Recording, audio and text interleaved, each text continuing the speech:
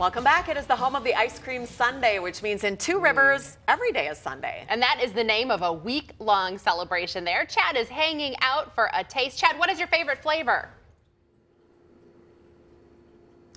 By far, I'm a strawberry guy, but we have uh, several different flavors here we'll be uh, checking out. I will, first of all, let's talk to uh, Bob Hurley with the Washington House. He's got a whole bunch of information to tell us about some of the history about the ice cream sundae here in Two Rivers. Bob, for somebody who doesn't know some of this background about the ice cream sundae, let's kind of fill people in about how this kind of all got started here in Two Rivers. Well, it started in 1881. That was the first ice cream sundae, and that was a Mr. Burner had an ice cream shop down the block here, two blocks down. And a customer came in and he wanted some of that chocolate on his ice cream that he uses for his sodas. And he, uh, Mr. Barner said, "Oh, that ain't gonna taste good." Well, but he, customer's always right, so he put it on there and mis- and they tasted it. Oh, it was fabulous. And he said, "Well, I'll taste it too." And he tasted it. Yeah, it's great. So he started serving it only on Sunday, five cents. Five cents on Sunday that you could get a scoop of ice cream.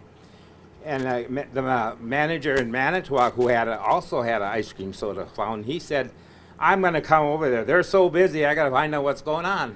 And so he started the same thing on, in Manitowoc with uh, Sunday. Mr. Barner, this is a replica of the sun, the uh, shop that was down the block here, and we have very, very uh, variety. We change our variety. Sometimes in the summertime, the people are standing out the door to come in here to, for ice cream. We're so busy. And we got kind of a different twist to some of these ice cream sundaes as well. We're going to now walk down by Emily here.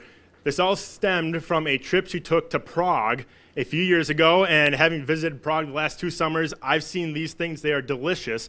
Emily, tell us about what you have created here and um, why you think people should, you know, kind of try something like this. So this is what they call a chimney cake in the Czech Republic, and I have made a spin on it, and I call it the conut.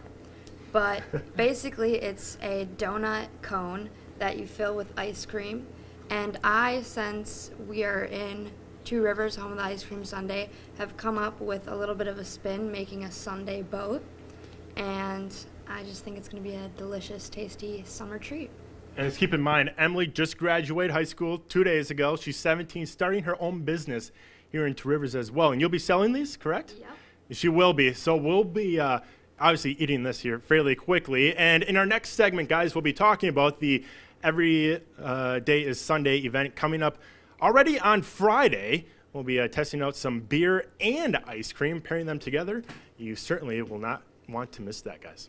I think I know what Chad's doing in the next two minutes. Devouring that thing. It's like an ice cream sub sandwich. What a genius idea. Thanks, Chad. Delicious.